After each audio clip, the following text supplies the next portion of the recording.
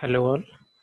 I'm going to showcase how to find nth largest and uh, nth smallest from a list of numbers. So let me create uh, a list here.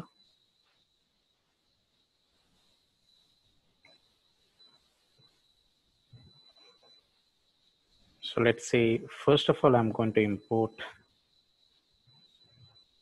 heap q as HQ. Let's say if we have some subject marks and I just want to pick uh, like top three subject marks or uh, lowest values or like the highest values. So based on that, we can we can make use of this particular function. So let's let's create a list here, subject marks. So I can give any particular order here. So let's say 89, some 45, 67, 83, 92, and some 56. So let's say I do have six subject marks here. And I'm going to use print statement directly to print those nth largest so print. So as i said um, i use hq so we can use hq to call the nth largest.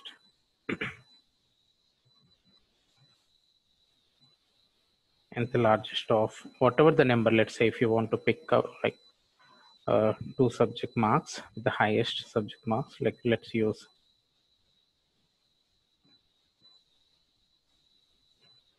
and I just want to pick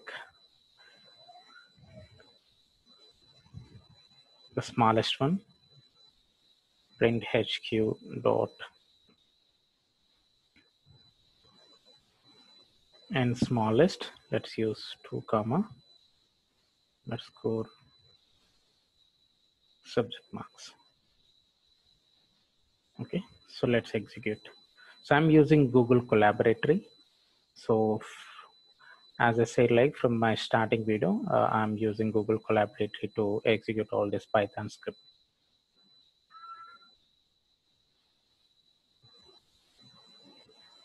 So basically first time it, it connects and uh, then it will execute. So you can see, right? So these are the top two subject marks like uh, you can say 92 and 89 from this particular list. And uh, so we have smallest number. If you want, you can make use of sort, but uh, we have smallest number. That's the reason, first of all, we are getting the, uh, sorry, I think I have missed, uh, maybe I used to provide some 45 or something, but anyhow, like it picks four.